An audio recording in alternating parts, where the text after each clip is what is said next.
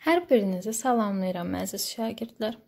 Bu gün ədəbiyyat 9-cu sinif fənnindən mövzumuz yeni dövr Azərbaycan ədəbiyyatının 1-ci mərhələsidir. Bilmək lazımdır ki, bu mərhələ 17-18-ci əsrləri əhatə edir. Gəlin həmin dövrə qısa nəzər salaq. Bu yüzilliklər, yəni 17-18-ci əsr Azərbaycan xalqının tarixində mürəkkəb, ziddiyyətli və keşməkeşli bir dövr kimi səciyyələndirilir. 1-ci Təhmasibin ölümündən sonra Səfəvilər dövləti qüdrətini günbəgün itirməyə başlayır. Mərkəzi dövlətin zəifləməsi ölkədə özbaşınalığın artmasına səbəb olur. 1-ci Təhmasibdən sonra hakimiyyətə Nadir şah gəlir. Qüdrətli sərkərdə olan Nadir şahlığı ələ alandan sonra ölkəni dağılmaqdan xilas edir. Ölkənin ərazi bütövlüyünə nail olan Nadir şah suiqəst nəticəsində öldürüldükdən sonra dövlət dağılır ölkə kiçik dövlətlərə, yəni xanlıqlara parçalanır. Məhz bu məsələlər də həmin dövr ədəbiyyatında öz əksini tapmışdır. Bu dövr dastan yaradıcılığının qızıl dövrü adlandırılır. Xalq yaradıcılığı mövzu, məzmun və forma baxımından özündən əvvəlki ədəbiyyatımızdan xeyli fərqlənir. Bu dövr üçün xarakterik olan məsələlərə birlikdə nəzər salaq. Qəhrəmanlıq dastanı Koroğlunun formalaşması bu dövrdə başa çatır. Abbas və Gülgəz, Aşıq Qərib, Şah İsmayıl, Əsli və Kərəm, məhəbbət dastanları məhz bu dövrdə yaranır. Şifahi xalq yaradıcılığının yazılı ədəbiyyata təsiri xeyli güclənir. Bu dövrdə yalnız qəzəli yox, həmçinin qoşma da diqqət mərkəzində dayanır. Mürəkkəb məcazlar artıq yerini xalq yaradıcılığında və danışıq dilində tez-tez işlədən təsvir ifadə vasitələrinə verir. Bu dövrdə heca vəznində yazmaq şairlərin yaradıcılığında ön plana keçir. Yaranan əsərlər isə aydın, sadə xalqın dilinin əsasında ərsəyə gəlir. Yazılı ədəbiyyatda epik şeir və bədii nəsr xalq yaradıcılığından bəhrələnir.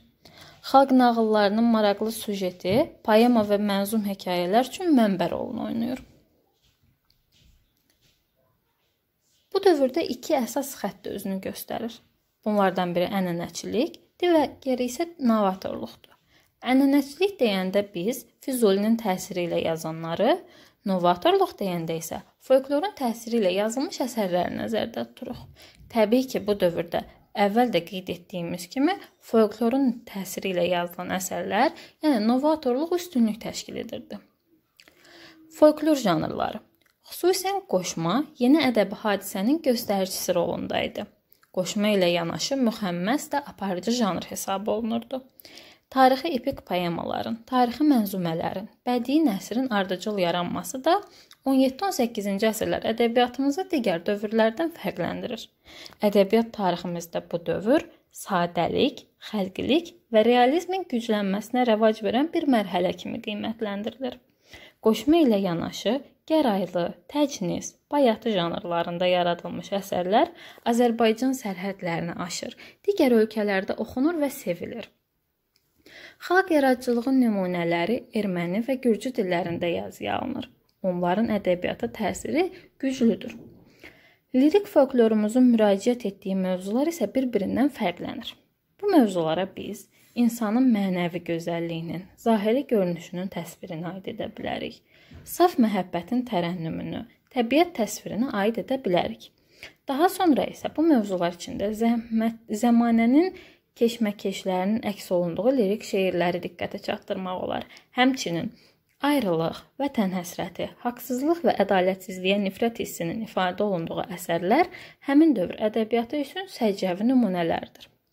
Əziz şagirdlər, yeni dövrün birinci mərhələsində aşıq ədəbiyyatımızda xüsusi inkişaf etmişdir. Aşıq Abbas Tufarqanlı, Xəstə Qasım Tikmədaşlı, Sarı Aşıq, Aşıq Vali və başqaları müxtəlif mövzularda yaratdıqları əsərlərində ictimai bəlalara, haqsızlığa, ədalətsizliyə, zülmə, ümumiyyətlə şərə münasibət bildirmiş, etirazlarını birbaşa ifadə etmişlər. İlk öncə danışaq Aşıq Abbas Tufarqanlıdan. Cənubi Azərbaycanda anadan olmuş Aşıq Abbas Tufarqanlının yaradıcılığında həyat həqiqətlərinin ifadəsi, dövrün cəfasından şikayət, vəfalı dost həsrəti, cəmiyyətdəki zülmə, özbaşınalığa etiraz motivləri daha güclüdür. Məsələn, onun belə bir şeirinə nəzər salaq. Adam var, çox işlər eylər irada. Adam var ki, yetə bilməz murada. Adam var ki, çörək tapmaz dünyada. Adam var, yağ yeyər, balı bəyənməz.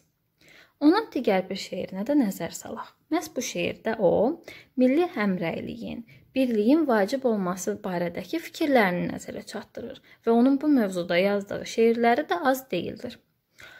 Abbas bu sözləri deyər sərindən. Arxı vurun, suyu gəlsin dərindən. El bir olsa dağ oynadar yerindən.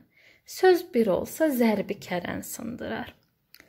Daha sonra sizlə danışacağımız aşıq Xəstə Qasımdır.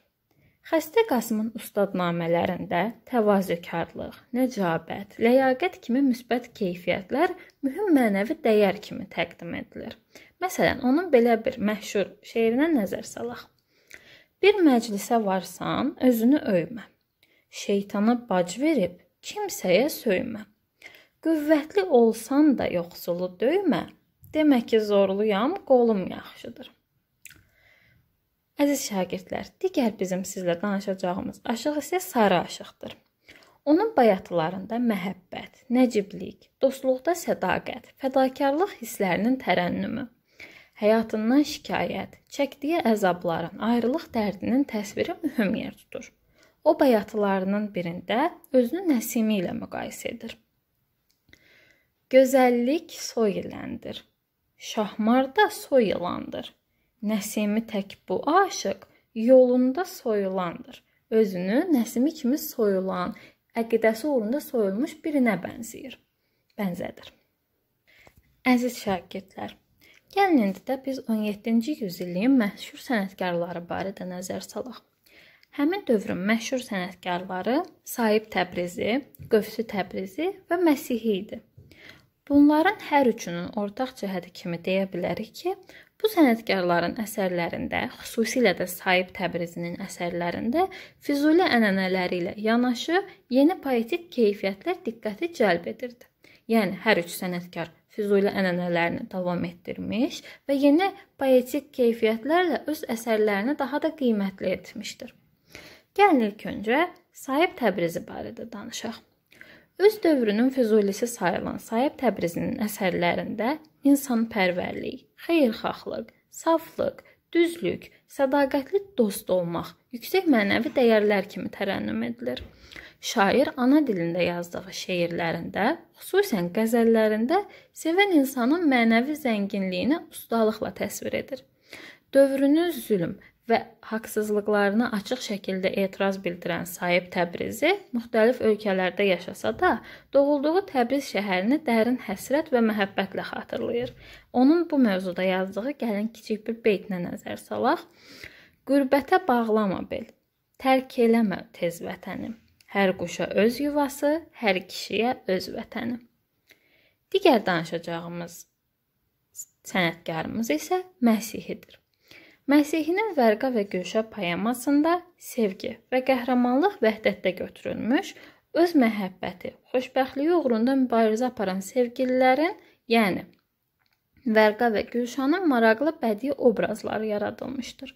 Şair oxucuya belə bir fikir aşılayır ki, xoşbəxtliyə çatmaq üçün mübarizə aparmaq, qəhrəmanlıq göstərmək lazımdır. Digər bir sənətkarımız isə Qövsü Təbrizidir. O 18-ci əsrdə yazıb yaratmış və dünyəvi şeir nümunəsi olan əsərlərində insanın mənəvi azadlığı problemini, sənətə qiymət verməyən zəmanəyə qarşı etiraz səsini uzatmışdır. Şair cisminin fəğanla dolu olduğunu söyləyir. Dərdinə şərik çıxan bir həmdəmin olmamasından acı-acı şikayətlənir. Haray kim, nə dilim var, nə bir dil anlayanım əgərçi ney kimi cismin fəğan ilə doludur. 17-ci, 18-ci əsrlər barədə danışdıqda gəlin 18-ci əsrə nəzər salaq. 18-ci əsr yazılı ədəbiyyatımızda da qeyd edildiyi kimi dünyəvilik, xəlqilik, reallıqla bağlı düşüncələrin həyati, təbii hiss və duyğularla ifadəsi ön plana çəkilir. Tərki dünyalığa çağırış, sufizm ideyaları bu dövrün ədəbiyyatında artıq bir qədər arxa mövqeyə keçir. Daha çox heca vəznində yazılmış poeziya nümunələrinin dilinin aydınlığı, sadəliyi, nikbin ovqatın ifadəsi ilə seçilir. Bu yüzillikdə realizmə meyl Molla Pənah Vaqif Molla Vəli Vidadinin yaradıcılığında özünü daha çox göstərir. Xüsusən də biz sizinlə Molla Pənah Vaqif barədə danışacağıq realizmin banisi kimi. Molla Vəli Vidadi Vidadinin şifahi və yazılı ədəbiyyat ənənələrini davam etdirən yaradıcılığında zəmanəsinin ağır acılarına, xalq kədərinə həssas münasibət aparıcı yer tutur.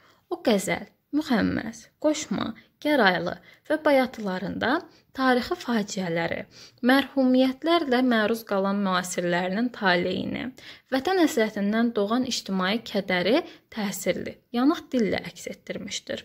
Müsibətnamə mənzuməsində, Könlümü, Durnalar rədifli qoşmalarında şair zəmanəsindəki ziddiyyətlərin, ədalətsizliyin qurbanı olan insanların faciəsindən ürək ağrısı ilə söz açır.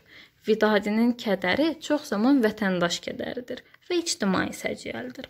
Uşaqlar, bizim yeni dövrün birinci mərhələsində danışacağımız əsas əsərlər Koroğlu dastanı və Molla Pənah Vaqif yaradıcılığı olacaq. Ümumi biz sizinlə yeni dövrün birinci mərhələsinə nəzər saldıq. Dərsi dinlədiyiniz üçün hər birinizə təşəkkürlər.